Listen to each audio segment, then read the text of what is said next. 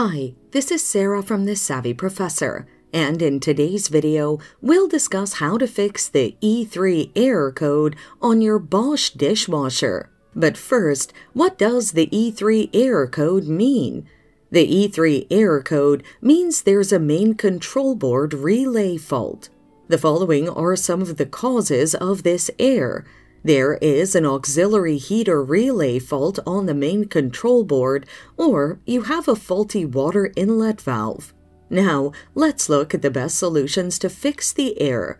Reset the power to your dishwasher and turn the dishwasher off. Disconnect the dishwasher from the power entirely by unplugging it from the wall.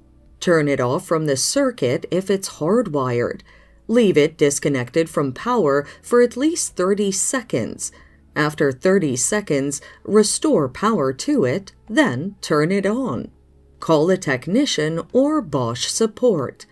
Call any of the Bosch official numbers depending on your country. Make sure to have the whole model number and production code of the appliance ready. Book a visit with one of their engineers if the issue can't be resolved via the phone. And that's it. Thanks for watching. Till next time.